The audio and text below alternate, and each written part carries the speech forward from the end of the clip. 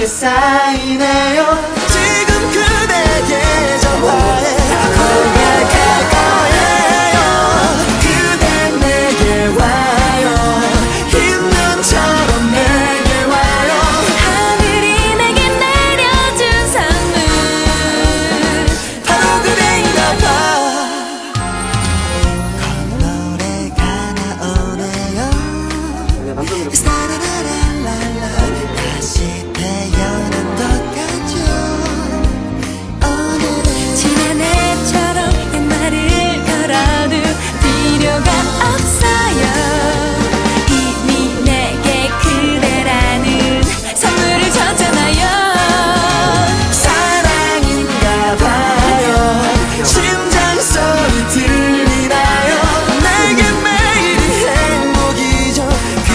저희 둘이요.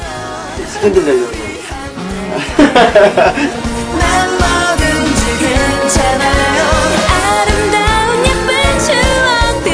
네, 저희가 이번에 프로젝트로 둘이 같이 노래를 하게 됐거든요.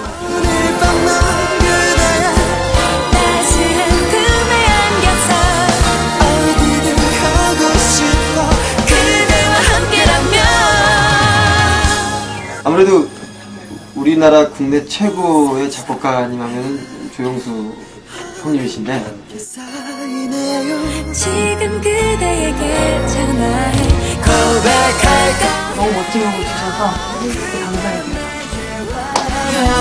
힘든처럼 내게 와요 하늘이 내게 저희가 의외로 호흡이 잘 맞지 않나요? 네, 이렇게 밝고 신나는 노래가 더 밝고 신나게 된 것 같아요. 그 웃음이 좀 여러분한테 많이 들렸으면 좋겠어요. 화이팅! 벌써 화이팅! 화이팅!